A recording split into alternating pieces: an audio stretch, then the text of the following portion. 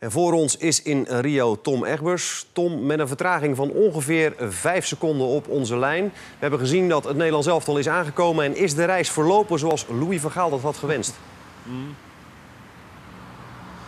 Ja, het is een uh, hele relaxte vlucht geworden. De spelers hebben uitstekend kunnen slapen, comfortabel in dat vliegtuig vanuit Parijs uh, naar Rio de Janeiro. En dan komen ze dan in deze stad. Nou, je hebt net uh, het hotel laten zien. Dat uitzicht daar is fantastisch. Maar de stad, dat is even een andere wereld waarin je dan terechtkomt hier hoor. Kijk, dat beeld daar achter mij, dat Jezus Christus beeld, dat kent de hele wereld. Als je daar van bovenaf kijkt, dan zie je een oase, een schitterende beeld van rust.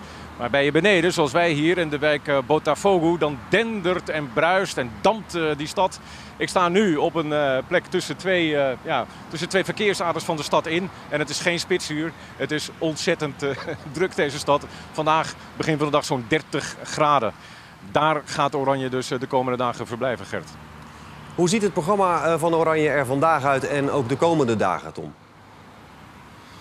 Nou, na de relaxte ochtend uh, gaan de spelers vanmiddag voor het eerst trainen op een uh, veld, een oefenveld. Uh, nou ja, dat is de, de vaste oefenplaats van de club Flamengo. Dat is die kant op, daarachter. Dat is op ongeveer een kilometer van waar de Nederlandse spelers in dat hotel in Ipanema zitten. Aansluitend is er dan een persconferentie van Louis van Gaal. We gaan bij die training kijken natuurlijk hoe het is met die blessure van Robbie van Persie. Was toch wel enigszins verontrustend dat hij in de laatste oefenwedstrijd al na één helft moest afhaken. Dat heette uit voorzorg, maar we zijn benieuwd hoe het met hem gaat. We hopen beelden van die persconferentie van Louis van Gaal en van de eerste training van de Oranje spelers hier in Brazilië te kunnen laten zien in het programma Nieuwsuur en eventueel in het late NOS Journaal.